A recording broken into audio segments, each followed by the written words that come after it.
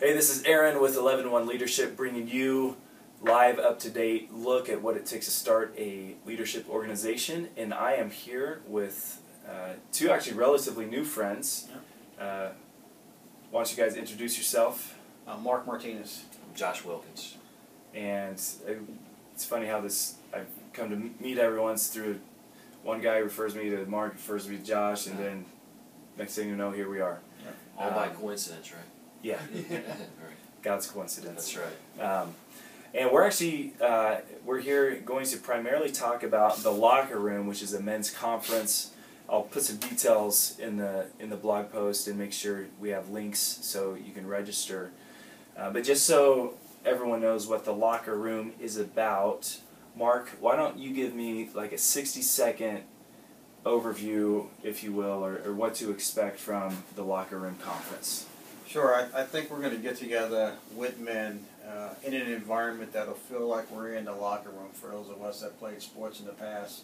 Uh, it was men uh, being transparent, being vulnerable, uh, nothing really to, uh, to hide, if you will. And what we've realized over the years is that uh, if, as we've grown older, we've tended to take some of our individual sins and our issues and we've stuck them in our individual lockers. And we've kind of closed that door, right? And so then we kind of walk out life individually. And so what we want to do is bring guys back to the locker room, open up some of those doors and some of those issues that we all deal with, and start unpacking that in an environment where a man can feel um, transparent with these issues, but also some sense of that they're amongst other men and it's safe, right? Josh, I'm not sure how you would add to that. No, look, I I always I've told Mark I've wrestled with it for a while about you know the Bible talks about confessing your sin to one another, and, and, there's we really dove into having men in your life that you can be accountable to. I wrestled with that for a long time, and, and through the group that we have, and, and that the man just the depth that we've gotten into, it's starting to click for me. Oh, okay, so that's why you know, God talks about iron sharpening iron, right?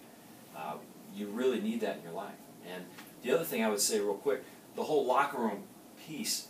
Mark's right. We, we have this stuff we stuff in our lockers. Um, the the other part of it, why we named it the locker room, was, you know, I spent a lot of my formative years in locker rooms, and it was a very unpolitically correct, Yeah. very direct atmosphere Mm-hmm. and you're able to get to the heart of a lot of things very quickly. Uh, and as men today, it's really confusing as to what we can or can't say or what we should or shouldn't think. Uh, this environment is set up to be, you know what? We're just going to say Yeah. what we think. Yeah. Race, religion, all of that stuff, it's really out the door. We're just talking about what God wants and what we're doing Yeah. and how do we make those two connect.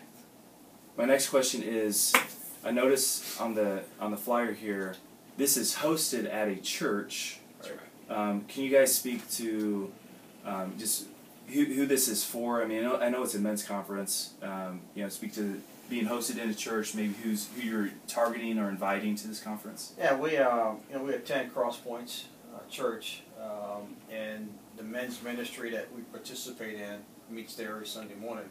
But it's by no means a Cross Points Church event. Uh, the church is allowing us to host it there, giving us the facility and all those things that are appropriate for having a conference. But this is for all men of all denominations, whether you go to church or you don't go to church. Um, we all struggle with the same issues. We all struggle with the same challenges within our locker.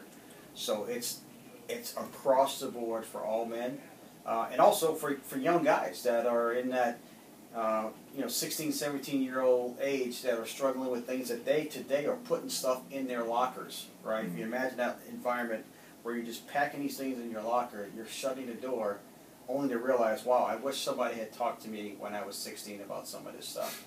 So it's for uh, teenagers, uh, it's for men.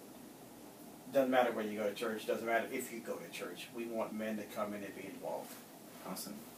So we were actually talking about this earlier.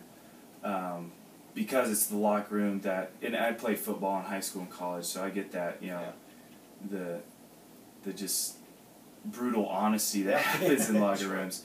Um, they the guys even mentioned uh, unchurched men may feel more comfortable at this Right. the conference than church guys because we're going to get down to real stuff, real life, and not be apologetic about it. Yeah, look, I religion from the time of the Pharisees until now has held us back from really connecting with Christ. I mean, that's what it's all about, is the relationship. So I also want to talk to you for the, the women that may see your information. Sure. Yeah. Yeah. Whenever Josh and I have a chance to take this message to a group, Yeah. and there are women in the group, Yeah. it's the heads are nodding. Mainly Yeah. when we talk about men being passive. Yeah, men need this, right? And they're not nodding in a way that my husband's a loser, Right. but they have the perspective of looking at how we walk out in our life. And so when we talk about things like this, and I'm sure there's some women right now looking at this clip that are thinking, yeah, it'd be good for my husband to, to come and sit that, sit in on that. So Okay, just to recap, the locker room is at Cross Points Church on Saturday, September 26th. The cost is only $30 a person, and there are scholarships available. So check out crosspointschurch.com backslash locker room and register today. If you need a scholarship, there's a there's a place where you can contact Mark for a scholarship. We're willing to go all in to make sure everyone gets there thank you for tuning in this week just to see what's going on in my life with the Level 1 Leadership Group. And again, a very privileged to be loosely associated with the Locker Room Men's Conference.